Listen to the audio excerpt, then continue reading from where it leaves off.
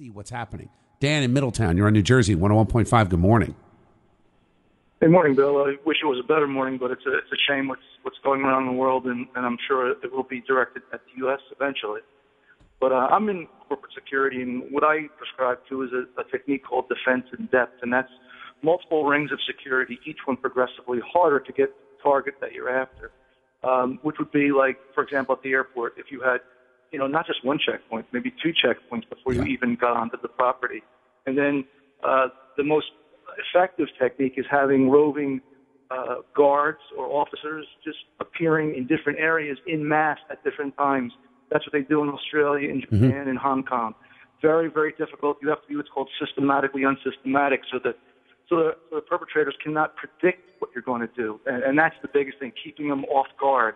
Right. And also, lastly, even in the corporate environment, if you don't have an ID, if you can't prove who you are, you're not allowed on property. Yeah. In other countries, if you don't have an ID, if you can't prove who you are, you know what happens? You're not in that country too long. That, out, you're in jail or you're out of the country. Dan, you're right. I mean, let me ask you, Dan. I, I brought this point up earlier. I think they do something similar in Israel and there are multiple checkpoints and there are interviews and there's a there's a behavior profiling that goes on there that I think we need more of here. Oh, absolutely. Body language, you know, it, it's a it's a it's a whole, you know, uh, they use it. It's a whole um, uh, type of security, but it's very effective. But see, the problem is, I deal with this here with even employees. They're like, oh, why does it take me so long to get into the door? Why can't I do this? Security doesn't speed things up. Security slows things down and that's the purpose of it. And, and reading body language and um, algorithms, using all these techniques is really how a lot of these countries figure out, or at least can try to predict. But usually, I mean, the thing that really impresses me, I traveled everywhere. I used to work for the government for, for, for some time. I mean, if, for example, I was in Hong Kong, and all of a sudden, 50 armed officers with, you know, MP5 automatic weapons. They would just saturate an area.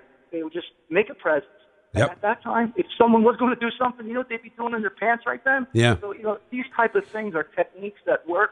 But unfortunately, here sometimes, you know, people get the wrong idea. They think that their rights are being violated. They right. think that their security, is, you know, personal space is being invaded.